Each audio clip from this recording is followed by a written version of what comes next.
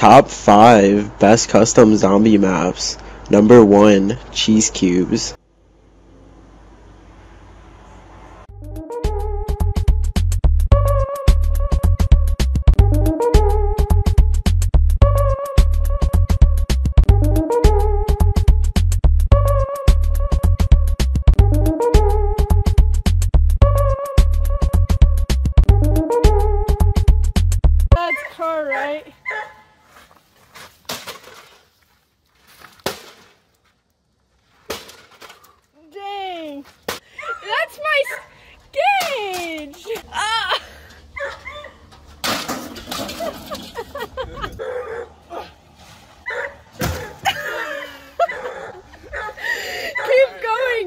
Like. So in this list, there will be no Cheese Cube, no Malibu Drive, or no Pistol Tower Defense. Basically, if it's a popular map, it will not be on this list. Now, not only is the concept of this video not creative at all, but all the lists that the people have made on the internet with this idea is not creative either. The- every list at least has Cheese Cube on it, and we need a list that doesn't have Cheese Cube on it. And, and this is, from my experience, the best maps that I've played. Now, number five, we have the zombies map, Seelow. Seelow is one of the most creative maps, as in, this is basically a campaign game mode for zombies. This map is incredible. It has a whole storyline that actually makes sense. It has you do tasks that make sense to get to the end. It doesn't have you doing some random Easter egg that makes no sense. Everything you do is for a reason. Also, not only that, it's fully direction. You know what to do from the start. There's text on the screen that gives you the mission. And this map is just amazing. And now I'm trying to tell you guys about this these maps without giving details. I want you guys to be excited, right? But at the end of the map, it has one of the coolest features ever where there's a countdown and you have to survive a shit ton of wave of zombies and it gets real intense.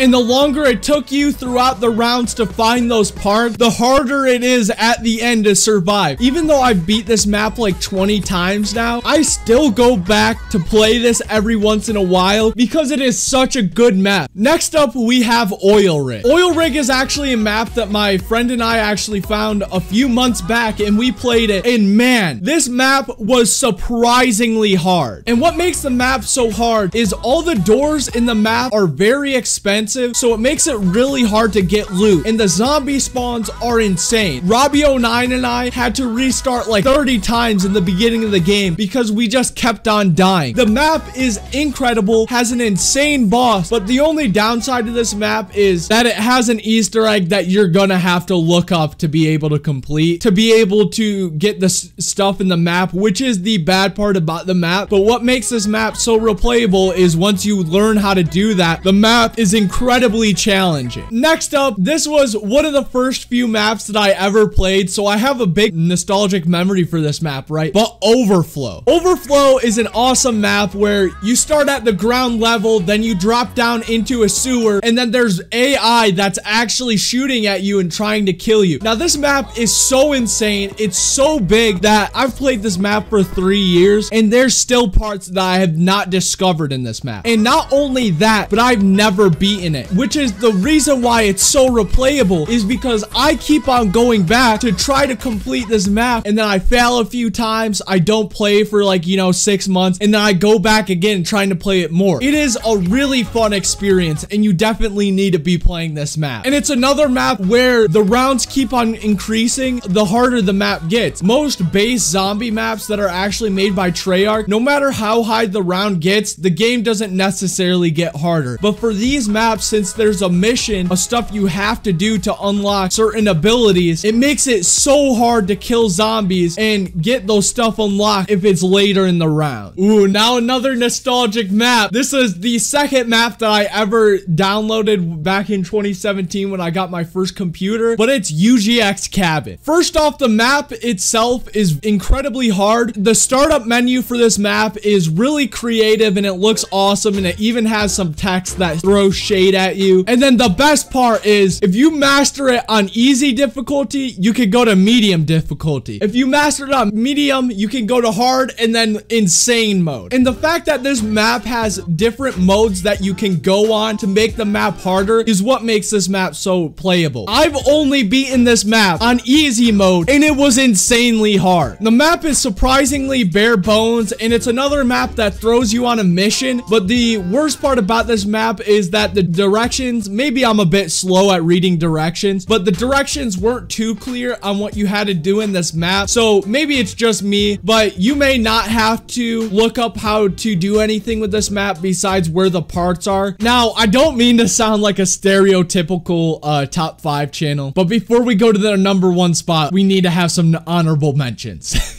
So first off, Octagonal Ascension. Now, I feel like everybody knows about Octagonal Ascension on Black Ops 3, which is a really great map, but I feel like Octagonal and World at War gets not as much love because it's way harder and it's a great map. I've never beaten the map before. I've been playing it for years. You should try it. Next up, Project Viking. Uh, I think this was the third Zombies map I ever downloaded, and it's really fun. Another map that I've yet to beat, and it has an insanely awesome mechanic where after you turn on the power, it will cut off parts of the map by putting down shipping containers. The map is just very hard. Number one, you guys are not ready for this. The best custom zombies map ever made is Collingwood. This map has a Mob of the Dead vibe, which is one of the most popular maps ever. Everybody loves Mob of the Dead, but imagine Mob of the Dead with World at War graphics. That's how good this map feels. It takes place in Insane Ward. Now, it's not like Verrückt. It's crazier looking than Verrückt. Not only that, it has an insane boss that's very hard to kill, and how the map works is there's a lot of doors. You have to open up maybe like 10 doors alone just to get to the boss. So by the time the boss comes around, the only thing you have is, if you're lucky, is a B23R and maybe an MP5. I have not gone through this entire map. The farthest that I've ever gone is getting jugged and then I would die immediately. This map is super hard. There's tight corners. There's a hard boss. I highly recommend you guys play this map. It is incredible. I've said incredible, guys,